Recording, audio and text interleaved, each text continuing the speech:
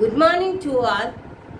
First of all, I like to thank the director of Asia's Top 50 Award and the coordinator of EET CRS Education Expo TV. I am Dr. G.M. Carmel Vigila Bai, Head Department of Physics, Government Arts and Science College, Nagercoil, Kanyakumari district from Tamil Nadu, India. I am so happy to receive this award of Asia's Top 50 Academician Award in Physics. I have 25 years of teaching and research experience in the field of nuclear physics. Although my teaching and research go parallel, I love teaching field because I like to interact so much with my students. As a teacher, I have enlightened many of my students' life and my dear students are my real boosters to work more and more.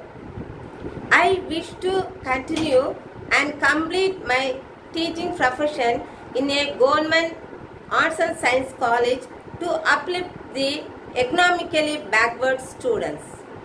I take this opportunity to thank my school teachers, college professors and Manonmaniam Sundaranar University Tirunelveli professors and also I thank my colleagues, students and my parents and my family members.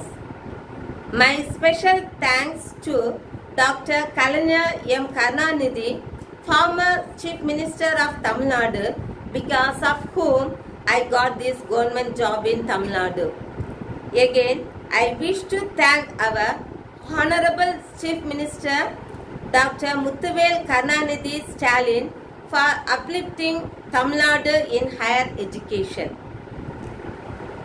Message to emerging academicians.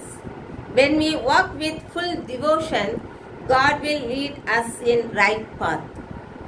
My best wishes and congratulations to all the executive members of this Education Expo, Asia's Top 50 Award.